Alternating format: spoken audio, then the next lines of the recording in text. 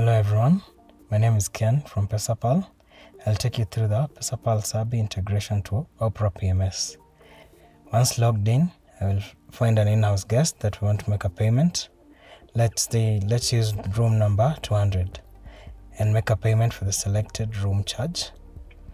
Click on the payment button, then select the sale option and enter the amount to be paid. Once I post, the PDQ will light up, waiting for the client to either tap or insert card and enter their PIN. Once the transaction is successful, the payment will be posted to the room.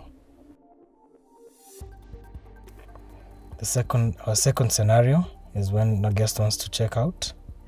In this case, I'll click settlement button and pick the early departure option.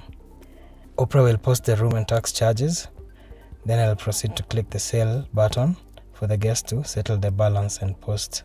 The PDQ will light up, awaiting for the client to either tap or insert the card and enter their PIN number. Once this transaction is successful, the payment will be posted to the room and guest will be successfully checked out. PMS will also change the room status to dirty. Thank you.